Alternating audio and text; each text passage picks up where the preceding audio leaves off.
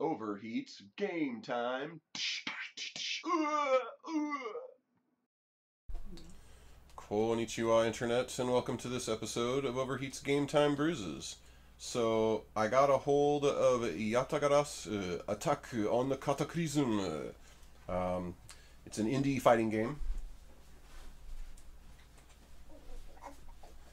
It's an indie fighting game. Uh, it's made from a group of people who basically are from SNK. They're responsible for uh, you know development within the King of Fighters franchise, and the um, I believe probably Samurai Shodown and the Last Blade as well, but for sure King of Fighters.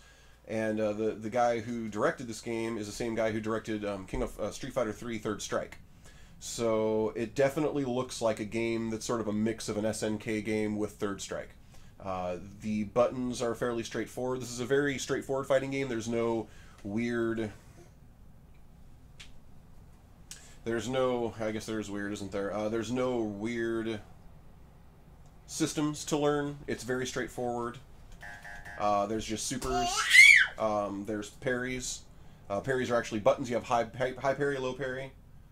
So um, I, I've run through each character to sort of figure them out. Uh, I haven't really found anybody that immediately clicked with me, but there are some pretty cool characters in here. So let's uh, jump in, give it a shot here. See what we got. Let's just go ahead and jump right into uh, jump right into a ranked match. Wait and training mode. I'll probably cut out the waiting and training mode stuff. I think I'm probably gonna start with this guy. Alright, um, I like this character too, but I have no idea how he works. Uh, he's really weird. I usually like boxing characters. They're usually kind of fun and rushdowny, but I'm not entirely sure how he works. But since, you know, I'm showing this new game off, I'll go ahead and uh, pick him so we can see him. Alright, James Chensor. Again, um, I am subscribed to his channel, um, Ultra David, or Ult- Ultra Chen TV. Uh, they do a really cool show every Tuesday uh, where they talk about the fighting game community at large. Um, they're very even. they're very even-handed in their um, their take on most fighting game stuff. They don't try to crap on stuff immediately. I kind of like that. A lot of fighting game guys, when they start talking about fighting games that they're not really into, they really don't have anything intelligent to say about them.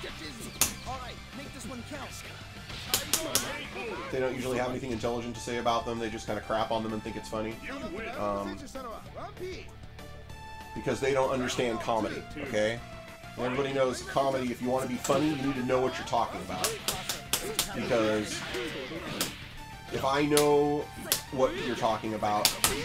Oh, whoa, what the hell was that? If I know what you're talking about, and you don't, and you're trying to make fun of it, you're just going to sound like an ass.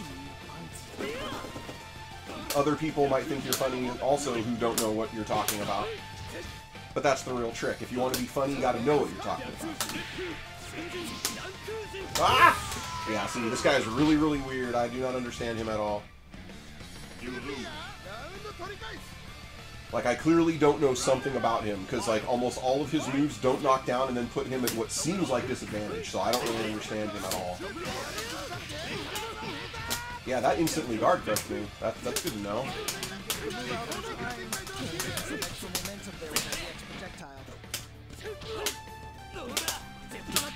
Yeah, his uh, standing jab seems like it has a lot of really good. Wow, he's just covering everything I try to do. Boom, there you go, rocket punch. There we go.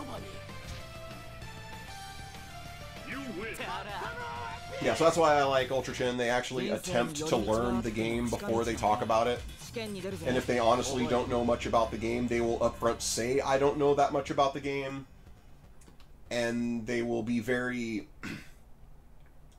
thoughtful with what they say. Round one. Fight! So yeah, um, if you're interested in the fighting game community, I would say they're a great place to start before you find what games you really like. Because they sort of cover everything to the best of their ability. Tossing him like a rag doll. Hey man, you're supposed to be on my side. Got some pretty good damage. Whoa, I didn't even...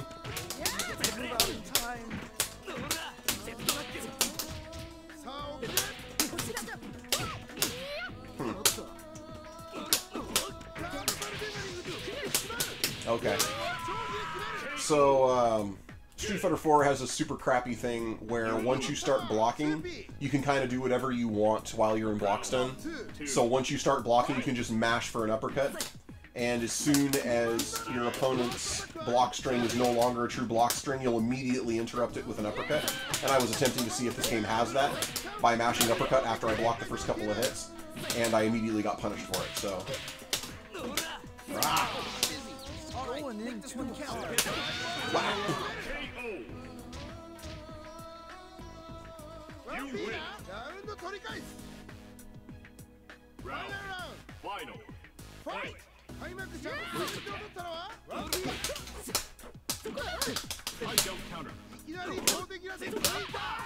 Okay, he's got an uppercut. Get the move out in time. Is that, a, is that seriously an uppercut with kick?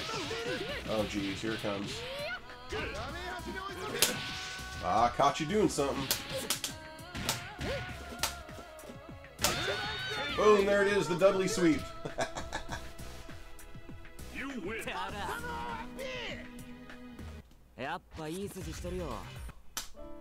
Yeah, you'll have to excuse the incredibly low-level play, but I literally bought this today, like 45 minutes ago, because I wanted to show it off to you guys. But, um, like I said, I tried to play online and just, I don't know, I was just, I would sit there for like 10 minutes and then somebody would challenge me, and I would get crushed and then I would wait another 15 minutes and someone would challenge me and I'd get crushed and it was just getting kind of annoying, so, um, uh, but I will say, uh, it was definitely no fault of the actual netcodes. The few times I actually got challenges, the netcode was perfect. You can set the input delay for whatever you want. I had it set at 1, which might have been the reason that it was taking so long to get challenges, but I moved it up to 4 and 5, and I still wasn't getting any challenges, so...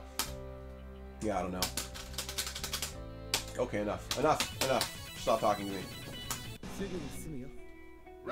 Yeah, the backgrounds look really nice. It's sort of a bummer that they went with Super Hiro's artwork because, as you can see, they couldn't really spend enough money to um, make them animated, which is kind of a bummer. It would have been nice if they were animated. That's a really good move. And the Fierce Punch when he actually moves forward a little bit. So no... Alright, I was seeing if uh, he had any uh, invuln frames on his uppercut move, but he doesn't apparently.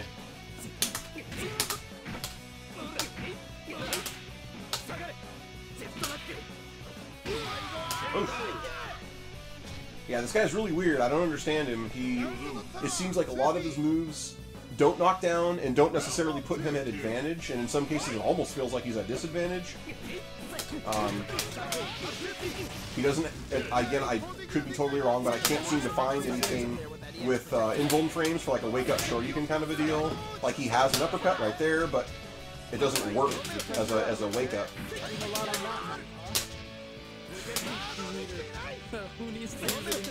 Jeez. Ducking, like, even weirder is ducking jab doesn't work with him. Like, what boxer in any video game doesn't work with ducking jab? I mean, that's just super weird. Like, because of who he is, I just keep defaulting, even though it doesn't work, I keep defaulting to that ducking jab, and... No bueno, bro. No bueno. Thanks for watching. If you enjoyed what you saw, like it. If you want to see more, click that subscribe button. If you have any questions or suggestions you'd like to throw out there, drop them in the comments section below. That's it for today, Internet. John, eh, bye-bye.